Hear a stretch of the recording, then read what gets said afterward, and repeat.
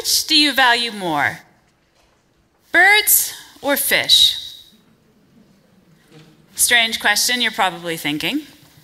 Or perhaps you're utterly offended at the question, thinking, how could I possibly value one more than the other? Or perhaps you're thinking, isn't she an energy economist? Isn't this supposed to be a talk about energy? So let me rephrase the question a bit to make it more about energy, and bear with me on this. Is hydropower a renewable resource? I would argue that it is. After all, the fuel or the water itself is not reduced or used up in the process of generating power. And the water is part of an endless, constantly recharging system. So hydropower is, at least in my mind, a renewable resource. And for those of you that put stock or faith in the Environmental Protection Agency, I'm pleased to say that they agree. But wait, there are actually many people who disagree. And one of my favorite quotes when it comes to this disagreement is from a chap named John Seebach with the environmental group American Rivers.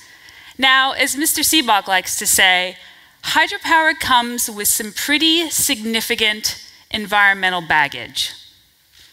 And it's this environmental baggage that makes him and so many others reluctant to call hydropower a renewable resource. Of course, it's important to know what is meant by environmental baggage, and here it's the impact of dams on fish and water flows. Now, I would argue that the disagreement is really one of semantics. After all, the energy is renewable. The question is really over hydropower's environmentally friendliness, particularly when it comes to fish. And this is because the science is in, and the science supports this, showing that where once salmon runs were in the millions in some of our region's rivers, they are now but a small fraction of that. Of course, there are other contributors, such as overfishing, but the science is in, and it's hard to argue with the science, and I don't want to argue with the science. I'm an economist. So I would just leave you and say because we know the science so well, we know how to mitigate the impacts.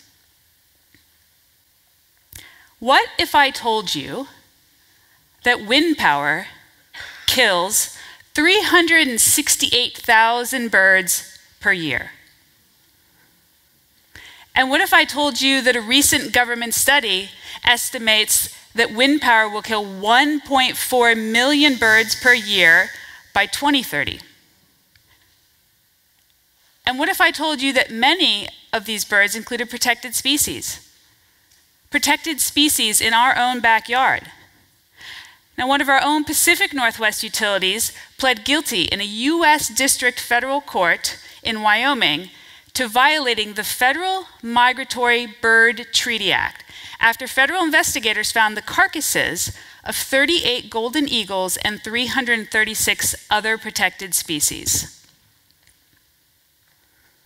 In its guilty plea, the utility accepted responsibility for building a wind plant that it knew would likely result in these deaths. So, which do you value more, fish or birds?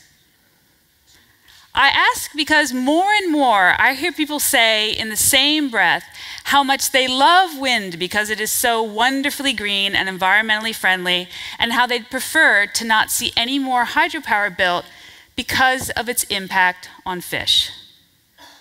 But aren't we simply trading the lives of birds for the lives of fish?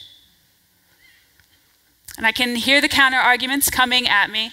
Erin, 368,000 birds is not akin to wiping out populations of fish. True. But wind is in the dawn of its dominance as an energy source, whereas hydropower has been around and dominant for over half a century. Erin, I can hear you saying, cats kill 1.4 to 3.7 billion, billion birds per year. and an additional 980 million birds are killed each year by flying into buildings. So I can hear you saying, Should we get rid of cats, Erin? Should we get rid of the buildings that we live in that we work in, that we go to school in? Absolutely not. I'm simply asking you to be mindful that there are trade offs, that there is no free lunch, and that you can't have your cake and eat it too. Solar. Solar is also killing birds. At a utility scale solar installation in the Mojave Desert, the US Fish and Wildlife Services estimates that nearly one bird is being killed every two minutes. So, which do you prefer more? Birds or fish? Be careful, because your choices or your advocacy could be making you inherently value one more than the other.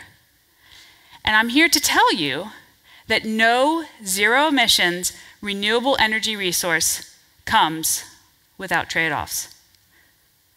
And it's not just wildlife, wildlife is just the tip of the iceberg. But this is why I'm an economist. That's why I'm an energy economist, because I get to explore these trade offs day in and day out. Trade offs such as would you rather have your energy come from 100% renewable resources? Or would you rather limit your impact on the environment? Not the same thing. But that's for another TEDx talk. Thank you.